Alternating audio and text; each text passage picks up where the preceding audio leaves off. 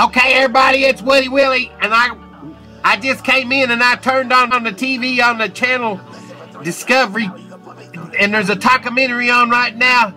The aliens have landed, and I'm getting in the Morgan building. I have my defensive measures ready. I have got my zombie stuff ready, and I am not gonna allow the.